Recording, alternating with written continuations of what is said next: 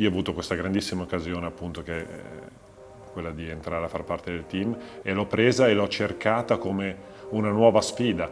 Entri a far parte di un team sportivo di vela, sicuramente il top che c'è nella vela al mondo, non sapendo nulla di vela, soffrendo il mal di mare, però mi, mi piace e mi, mi, mi, tiene vivo ancora di più perché dici ok Bruno, tu devi partire completamente da zero.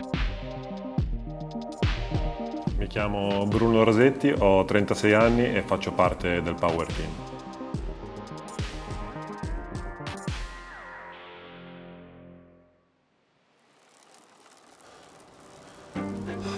Sono sempre stato appassionato di sport sin da piccolo, ho praticato tantissimi sport, fino a quando poi conobbi il canottaggio, che ho praticato per tanti anni, sono stato parte della nazionale italiana nelle varie categorie dal 2004 al 2009. Nel 2009 decisi di smettere di remare perché avevo bisogno di, di trovare qualche altra ispirazione, qualche altra motivazione.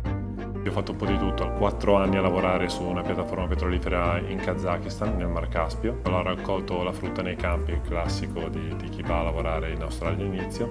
A fine 2016 ho ripreso a fare canottaggio, un po' perché mi sentivo come incompleto. Un, sì, il mio percorso lo sentivo incompleto. La mia filosofia di vita è sempre stato così, da, da, da, quando ricordo da ragazzino, ma oggi e lo sarà anche domani e tra 5-10 anni.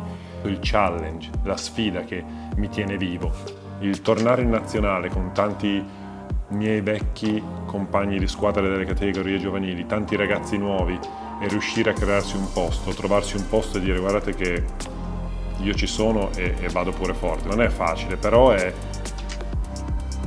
è la voglia di vincere, è quello che mi piace oggi, domani e probabilmente sempre.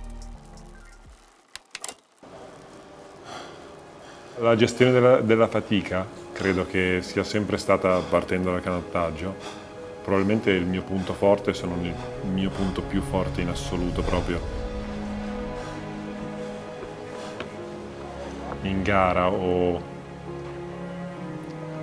mi scatta sempre qualche cosa che dico perfetto, io sto facendo fatica, di sicuro gli altri stanno facendo tanta fatica quanto me e a quel punto è il momento di dare, dare ancora di più. Sono amico della fatica e ci devi convivere e secondo me se ci convivi bene è più facile. Te la devi fare amica.